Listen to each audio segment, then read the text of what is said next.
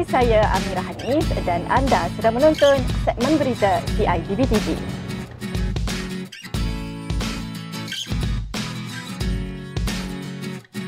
Lembaga Pembangunan Industri Pembinaan CIDB Malaysia berhasrat untuk menjalankan penyelidikan pembinaan 4.0 berdasarkan Pelan Pembangunan Strategik Pembinaan 4.0 di bawah Trust Productivity dalam Pelan Transformasi Industri Pembinaan CIDB. Oleh itu, satu memorandum persefahaman MOU telah ditandatangani antara Institut Penyelidikan Pembinaan Malaysia KRIM dan Gamuda IBS yang berhad bagi menjalinkan kerjasama penyelidikan.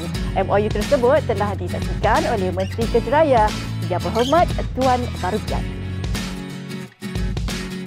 Kerjasama ini tercetus daripada perbincangan-perbincangan yang kita buat.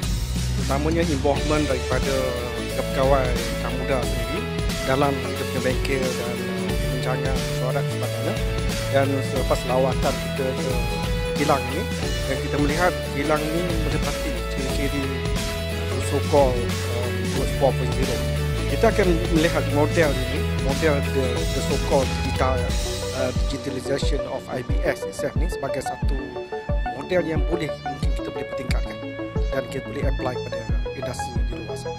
Pada majlis ini juga kami berpeluang untuk melihat sendiri kerja-kerja penyilangan berrobotik berasaskan Building Information Modeling BIM yang menjadi penyumbang kepada kelebihan IBS dan BIM iaitu pendigitalan bagi kerja pembinaan yang pantas dan berkualiti tinggi, peningkatan kemahiran tenaga kerja tempatan dan pengurangan pekerja asing sehingga 70% serta memberi keredahan kepada para belia tempatan dalam kemahiran teknologi digital.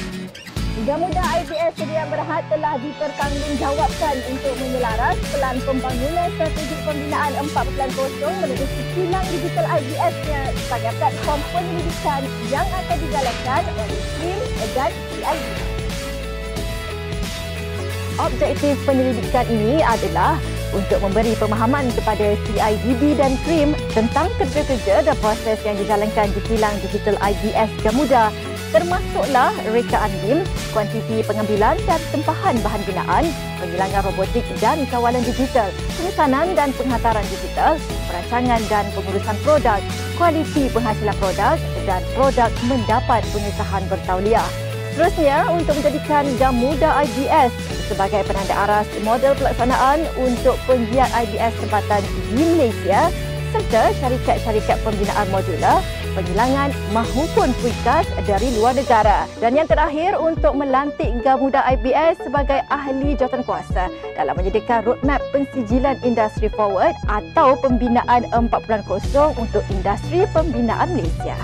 Muda IBS is Malaysia's first digital IBS. Construction industry can see the reduction of the need to rely on foreign workers because there can be a 70% reduction in manual work. We are upskilling locally trained um, TVET uh, construction workers ready to be the workforce of the future. We feel that um, there's a need to work with CIDB and CREAM uh, to come up with the right measures and metrics Selaras dengan polisi Kementerian Perdagangan Antarabangsa dan industri MITI menerusi industri 4.0 iaitu industri forward Kerjasama yang dijalinkan ini dapat menghasilkan model perniagaan yang mampan kepada syarikat SME dalam penghasilan IPS.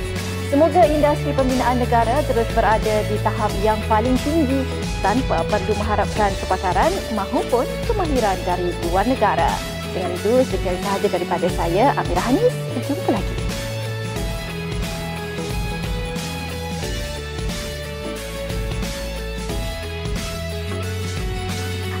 Guys, jangan lupa macam biasa follow dan subscribe YouTube CIDB TV.